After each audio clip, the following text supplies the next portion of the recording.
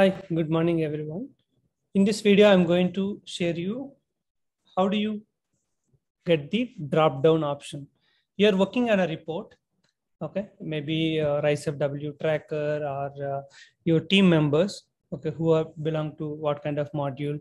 So you have multiple kind of uh, data you're working on that. Sometimes you see that the drop-down option can be provided to select the suitable answer, not to input any, any value, by the respective person. So you can make it like this. Okay, let's see the data now. Okay, let me increase the size of uh, sheet. So first of all, you have to prepare a data source. Okay, uh, I just put this uh, data source here. Maybe you can come here. So this is the data where you are going to prepare. Okay. Name and module. So this is your requirement and uh, for example so for file select this click on all borders. Okay name maybe you can give ganesh maybe ramesh suresh Sandhya. okay. You have some four people. You want to give a module so the person who is filling he doesn't know that which module how to select okay? So compared to some people may give material management some people sap mm so you, you want to have a drop down option for this. How do you get that? First you have to prepare a data source for example module and these are the list of modules. So you just fill like this. Then come to the the main file. Okay here you want to have a data validation right put the cursor there, go to data. Here you will find a value called data validation. Okay, click on data validation.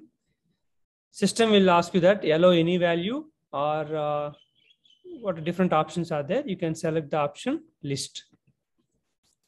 Once you give the list, system will ask you that where is that data list. So come here and click on this button so system will ask you to select the range. Now go to data source, select this range. Okay, now you select the range. Now click enter. Then click on OK. See system has selected that from A2 to A8. If you are adding any values, you need to ensure that all the values are covered here. Click on OK. See the drop down has come here. So they can select Ganesh SAP MM. Okay, the drop down if you want to have for all, you can put this cursor here. You can just put the cursor here and you just drop down like this. Okay, so the, all the modules, all are getting the values. I just selected that um, all entries, I deleted. So the formula is getting copied. You can select that only formula or fill formula that are that options you can do it. So now Ramesh SAP SD, Suresh SAP ABAP, Sandhya PSAP FICO, okay, Srinu SAP WM. Like that you can select it. So drop down option can be used. If you want to add any values, you can uh, include the values here. Okay, you can select and um, add one more. You can add insert. Okay, maybe you can add SAP theory.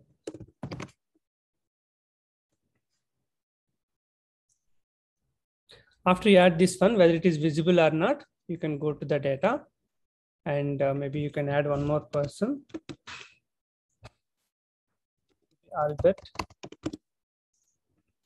so the theory also visible. If you add in between any values, system will show you all that uh, values. Okay. So this is the way how you can handle the drop down in your project.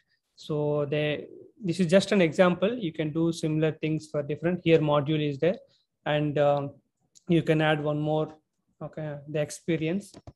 Okay. Experience also you can put it or experience or uh, other module, any data. Okay. So the option is in that way you can practice on your system, how to get this drop down and how the data is getting copied. I hope this video is helpful for you for your regular work and uh, managing your uh, data. Okay, maybe a tracking of RISE or tracking of your support tickets. Okay, the status, anything you can utilize that. If you like the video, hit the like button and share with your SAP consultants and any other friends also, because this is an Excel tip, so anybody can get benefit. Thanks for your time.